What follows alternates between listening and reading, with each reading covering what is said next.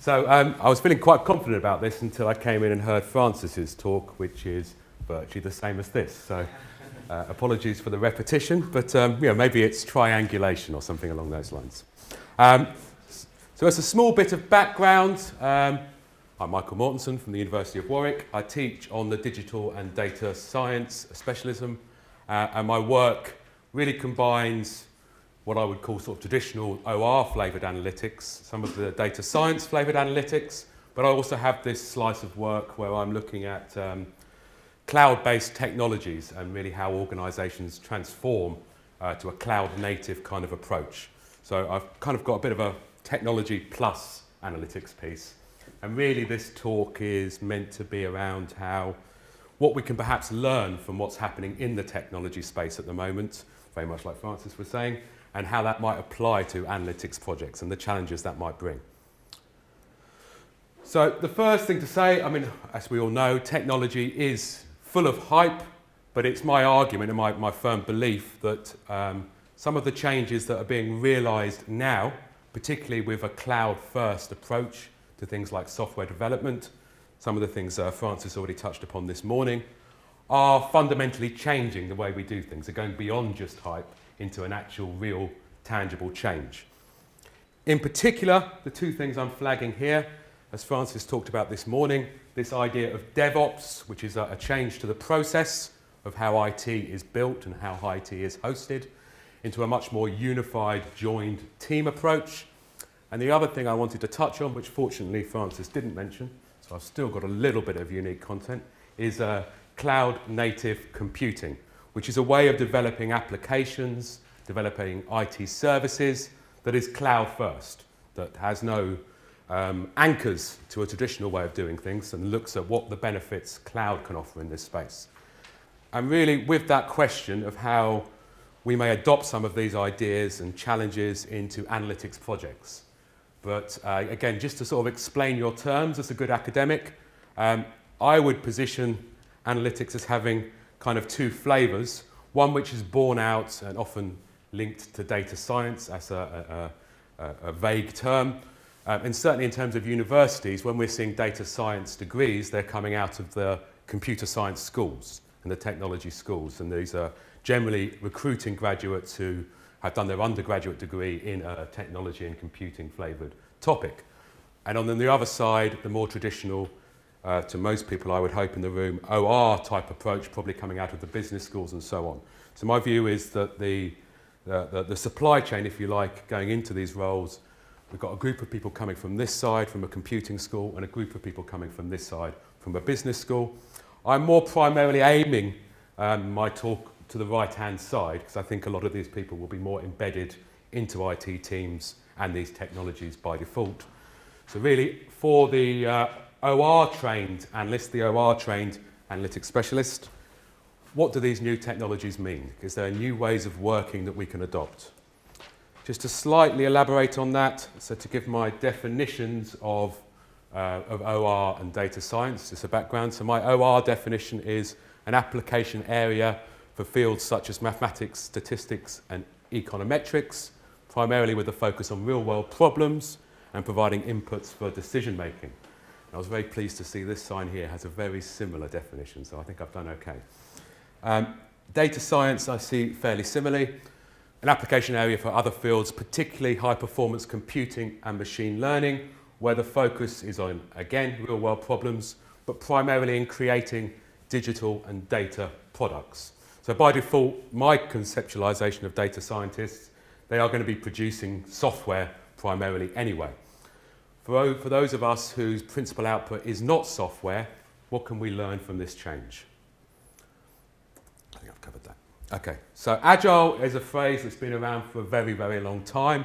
There are clear and obvious benefits to working in a more agile way. As a simplistic definition, I'm calling that just really breaking down work into smaller chunks of work rather than tackling big projects on as a whole. We break it down into logical sprints or iterations and in doing that, we add a huge amount more visibility to the stakeholders so you can see how the project is progressing because we're delivering work on a more regular basis. It makes us automatically more adaptable because we're only working in small chunks, therefore if changes come down the line, there's less that they'll impact. It gives us a quicker path to business value and at the same time reduces the risk. So I have a couple of quotes from the Agile Manifesto and really I just want to think how well do these describe the way that we do analytics, particularly if we come from a more OR background. So one of their, their, their uh, principles is that the highest priority being satisfying customers through early and continuous delivery of software. Most OR-infused analytics projects that I see in a traditional sense very much are, are start and end type projects. We do the work and then we deliver something at the end. So this idea of continuous delivery of valuable software, even if we say valuable insights, I think that can be lacking in the traditional OR project. Welcoming changing requirements, even late in development, no one ever welcomes changing requirements, let's be honest, but it's in the manifesto. But I think, again, the way we structure some of these projects do not make us very flexible or able to react to change as well as we could. I'll skip from there just to make up some time. So as I said at the start, Agile has been around for a long time. The dirty secret about Agile is this. Agile is like teenage sex. Everyone talks about it. Nobody really knows how to do it. Everybody thinks everyone else is doing it, so everyone claims that they are doing it. All these businesses say they are agile, but when you scratch beneath the surface, most of them work in a very waterfall way. I think there's some degree of human nature to want to have this flow of work in a typical waterfall system, to have these projects all the way through. And certainly us in universities are partly to blame because we teach everyone the scientific methodology which follows that very waterfall type approach. One of the reasons I think Agile never really reached its full potential at that time is that fundamentally Agile just targets one silo in the IT cycle. The IT cycle, loosely defined here, as a flow between the design of software, the development of software, QA, security and testing, as Francis was talking about, and then operations where the application or service is actually deployed. The problem that Agile hit was that it was really only focused on development. And so as Francis was talking about this morning, once that development stage finished, it then gets stuck in QA, it then gets stuck in an operations queue. All that performance gain we might have captured by changing the way we develop is then lost in the cycle. So the idea of DevOps is to sort of break down those silos and see software development, application development as a continuous flow through the cycle. So again, as Francis was talking about this morning, developers working hand in hand with security and testing people, testing throughout the process, and thinking about uh, the deployment issues of operations right from the start. Uh, I will skip through that one as well. Okay, so if you haven't gathered already, DevOps is seen as the intersection of these three separate silos of software development, the, the guys doing the development themselves, the QA and testing teams, and then finally the operations teams. So my question is, what would that look like in terms of a traditional analytics project? And in uh, a period of shameless self-promotion from a paper I published on the area, we um, encapsulated analytics as this combination of technologies, primarily computing technologies, data capture, databases, and so on. A quantitative stage, which is probably where I think most people in this room are, are mostly situated, and then a decision-making piece at the end.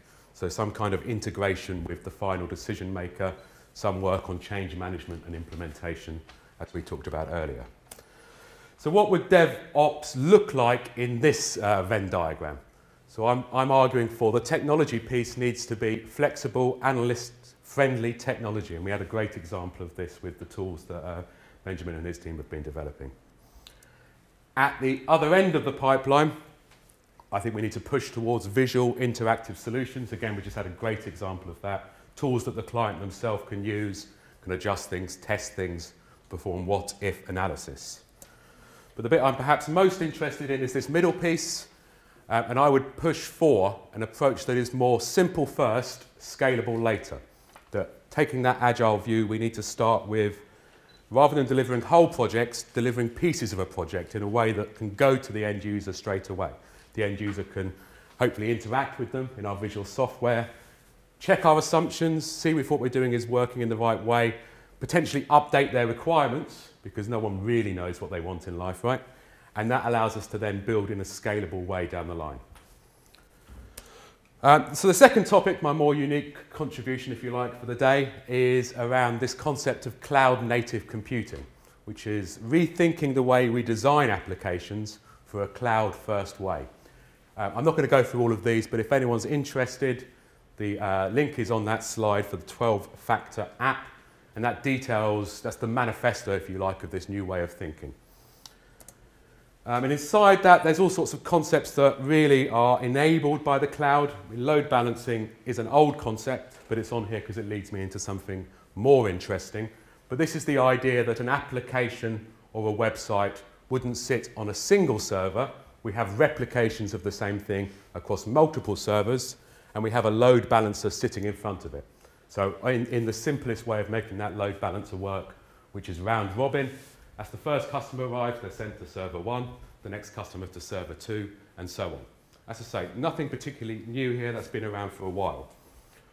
What has got more interesting, there's a company called Kubernetes, which is a spin-off, we normally just say K8 because it's easier to remember, which is a spin-off from Google, and they've built kind of on top of this idea a network of containerized applications, so applications that are running in multiple servers, and it's a management system that sits on top of it. So there is um, a, a, part, a module in Kubernetes, which is called Replication Controller, and they basically act as a monitor of the whole system. And they ask questions like, is the system too busy? And if it is, it automatically spins up another version of the application on another machine and adds that to the load balancer.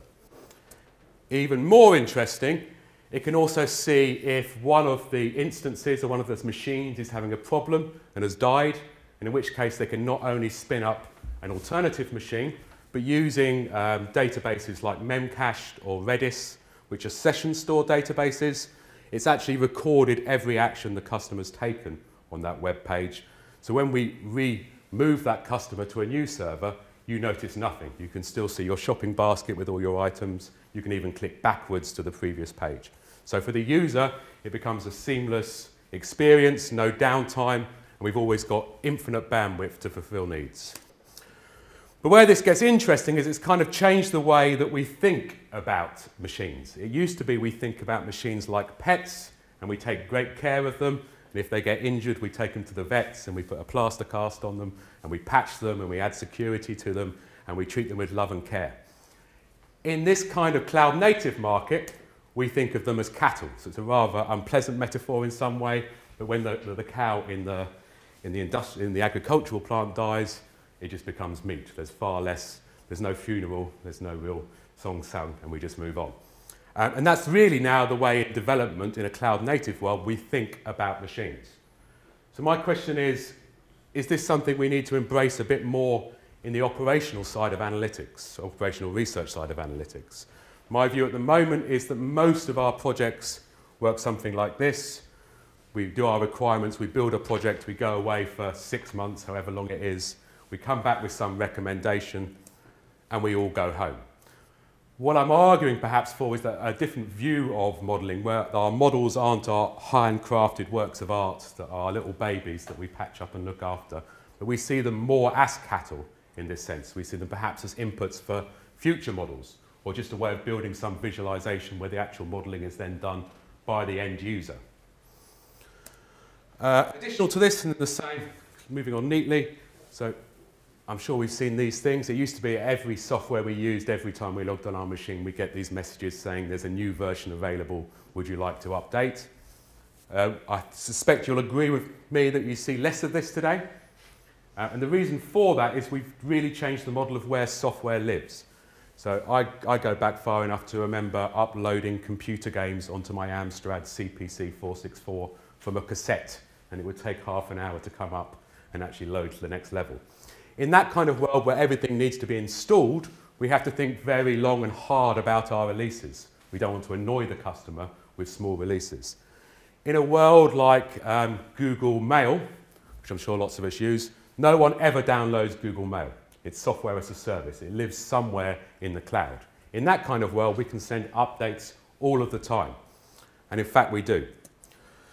So the, the standard journey that's talked about um, is toward continuous delivery.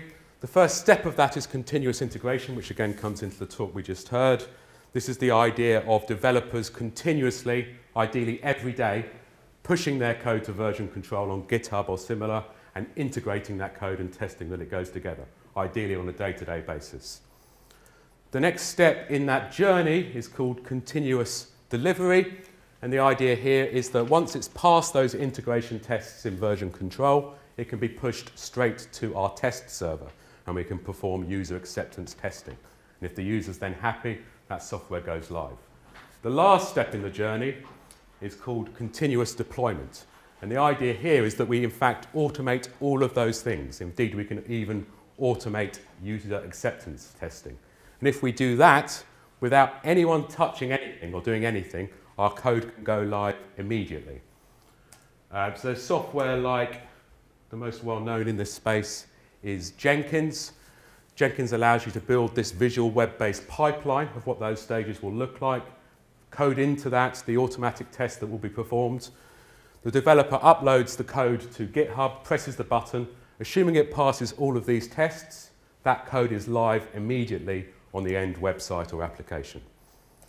So there's a little company in Seattle called Amazon, you may have heard of. They do something like more than, they do more than 200 code deploys every single day. So not this idea of software being sent out every year or every two years, 200 times a day. I believe the record was 1,000 deploys in a single 24-hour period. So that application is constantly evolving on a day-by-day -day basis. Again, spinning this back to what this might mean for operational research and the operational research flavour of analytics. So one thing that I think is very important, and again we see a very good example of this here, is all of our model outputs, in my opinion, should be available to the end customer as an interactive interface, a dashboard or a model building tool themselves. This automatically extends the life of our work and it allows the user, the end user, to become the modeler to some extent and to push updates and keep things alive. The other thing I would touch upon is thinking a bit about, um, and it uh, overlaps very nicely with what Francis was talking about to, to my question, so I set it up nicely for myself, of simulation models becoming automatic, automatically updated and automatically built based on real-time data feeds.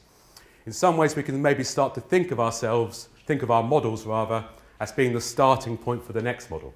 We run our model, we implement it, we have some result. Perhaps thinking in a Bayesian updating kind of way.